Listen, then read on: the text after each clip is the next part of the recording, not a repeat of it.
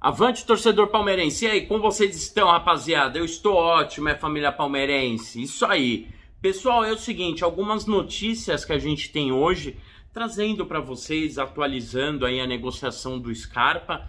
Entrou mais um time na parada e eu acho que pode dar jogo, só que, sei não. A gente tem negociação do Scarpa, Palmeiras no sub-20 e Jean-Pierre, beleza? Isso aí, família palmeirense. Caiu de paraquedas aqui, não conhece o canal? Vem aqui embaixo e se inscreve. Vira o celular assim, ó. Tá assistindo assim? Vira assim.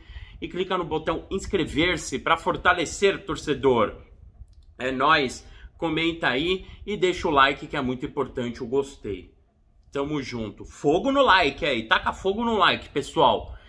Então, pessoal, a gente tem aí o time sub-20, né? O pessoal já tá zoando pra caramba, porque começaram os memes, né? Óbvio. Palmeiras atropela Corinthians pelo brasileiro do sub-20. São Paulo fica no empate com o Fla.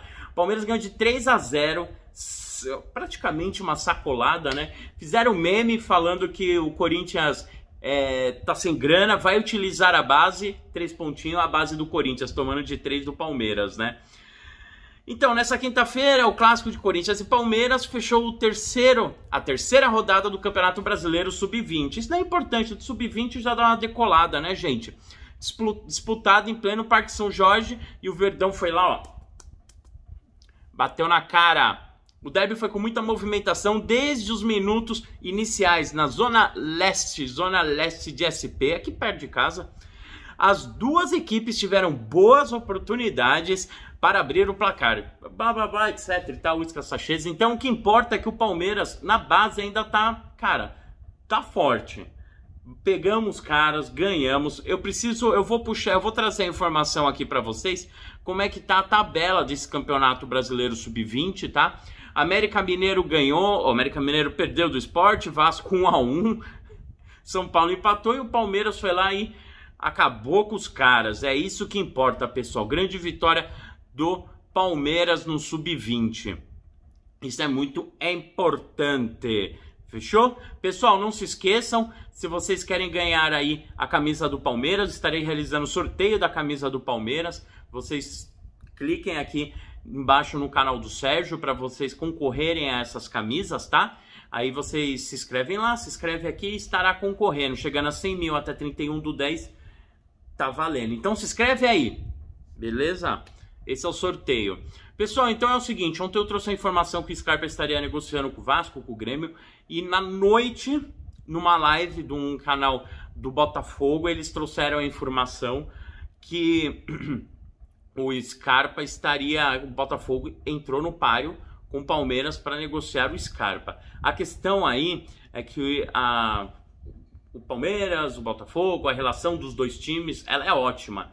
Então o Palmeiras ele provavelmente pode rolar uma negociação aí, se se provavelmente pode rolar, né? Não, pode rolar uma negociação se o Botafogo pelo menos arcar com os custos do salário, né? Pelo menos é isso que a gente espera. O salário do, do Scarpa gira em torno de 700, 800 picanha por mês. É muita, é muita grana, né? Porque aí tem aquilo, as luvas que estão diluídas, tem um monte de coisa que eles colocaram, né? Então tem isso daí umas 700, 600, 700 picanhas por mês. Na época, né, todo mundo achou que o cara iria jogar, ia rolar. Botafogo negocia por Gustavo Scarpa. É, é o que o pessoal tá, tá cogitando lá, né? Botafogo inicia conversas com diretoria do Palmeiras para conseguir empréstimo de Gustavo Scarpa, ex-Fluminense, até o final do Campeonato Brasileiro de 2020. É uma boa. É uma boa, não é ruim, sabe por quê?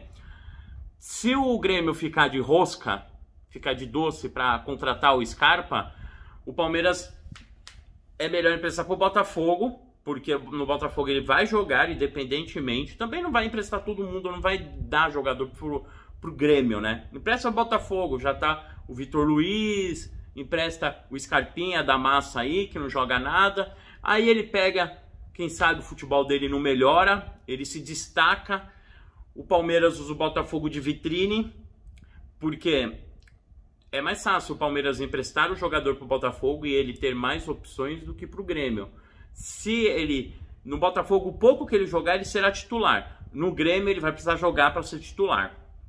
Agora, o que eu queria trazer do Jean-Pierre para esse caso é o que? O Jean-Pierre ele não jogou no final de semana. O pessoal tava falando, ó, oh, mas ele já tá bom, ele já curou da lesão tal. Aí veio o Portalupe e falou: não, a gente tá segurando ele para ele não quebrar, para ele não estourar. Aquela coisa que é o mesmo esquema que a gente fez com o Gabriel Verón, né? Porque o Gabriel Verón estava lesionado, ele ficou ainda 4, 5 partidas fora, que o Palmeiras segurou para ele falou, ó, como ele tá voltando agora, os exercícios físicos, para não dar aquela explosão nos músculos dele e estourar o jogador, a gente segura um pouco mais o jogador e mais para frente ele entra e entra com calma, ele já com o físico 100%. Então foi isso que o Grêmio pensou, aparentemente.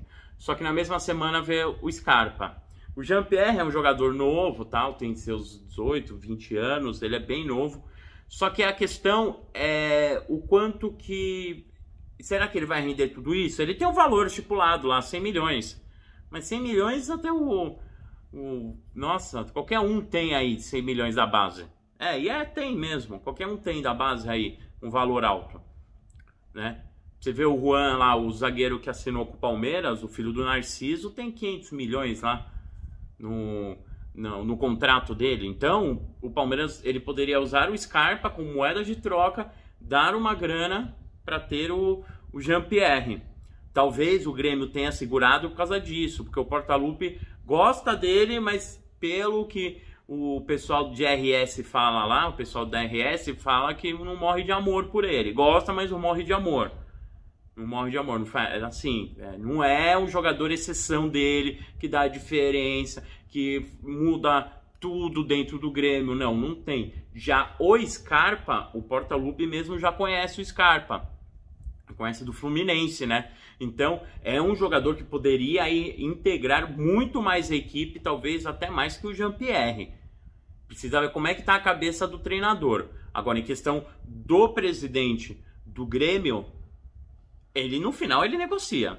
Se o Palmeiras fechar definitivo o Scarpa, o Scarpa, o Portalupe falar, eu vou usar mais o Scarpa que o Jean-Pierre, ou você vende o Jean-Pierre para fora, mas eu quero o Scarpa aí. Ah, não, vamos negociar, vamos fazer isso aqui. Ah, então beleza. Aí o Palmeiras consegue. A questão do Botinha, do Botafogo, na jogada, é que o Anderson Barros é cria lá dos caras, né? Trabalhou muito tempo lá no Botafogo. Então, é um cara que tem uma, uma transição, né? Muito forte no Botafogo. Então, é, lá com o presidente do Botafogo, com uns, uns diretores, então ele tem uma transição muito forte. Então ele vai sempre tentar puxar jogador pro Botafogo, vai sempre tentar. Agora, eu tenho que falar a verdade, tudo bem, eu não vejo problema em prestar Botafogo tal, mas pelo menos os caras têm que pagar aí 400, 500, velho. 400, 500 picanha por mês, tem que pagar, não adianta pegar, vai doar o cara também? Vai doar o cara?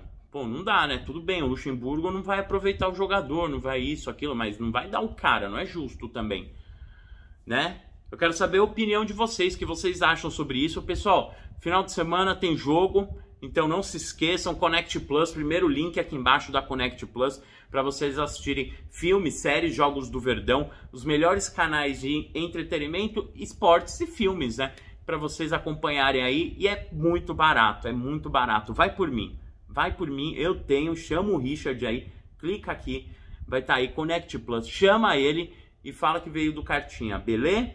Então é isso, família palmeirense, um grande abraço para todo mundo, tá? Eu tô anotando os abraços novamente, tamo junto. Preciso melhorar a minha estrutura aqui, já já ela já vai estar tá 100%, aí vocês vão ver, para 100 mil a gente já vai estar tá grandão, grandão.